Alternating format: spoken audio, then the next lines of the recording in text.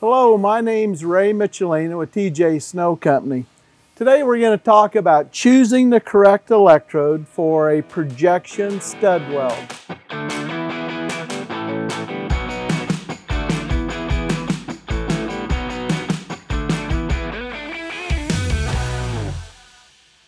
We have a lot of different choices of electrodes that we can use to weld this projection stud.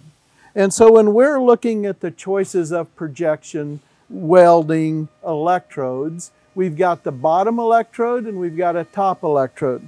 We need to be able to have an electrode that this stud can fit into.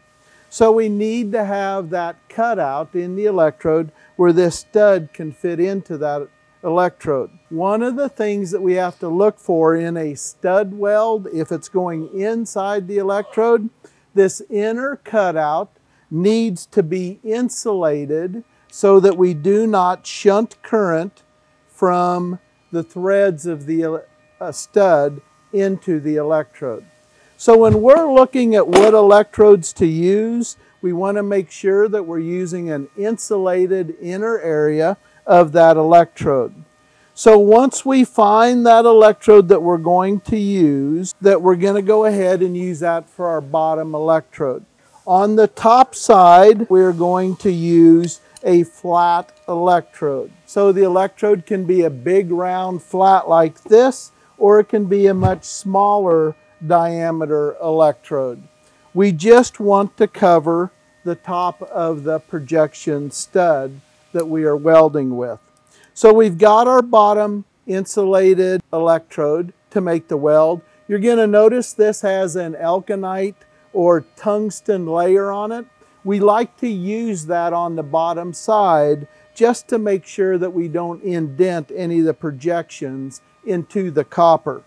On the top side, I like using a solid electrode. If I'm using anything that is a swivel-based electrode like this, it may not put equal force on each one of the projections. I need each one of the projections to weld equally.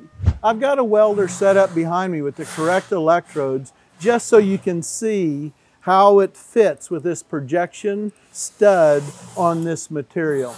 I've got Tom here giving me a hand today. Tom, go ahead and make a weld for us on this if you would. Notice we've got the bottom electrode that's here with the hole that the stud is going into and the top flat electrode. So Tom, go ahead and show us how this, this works with these electrodes.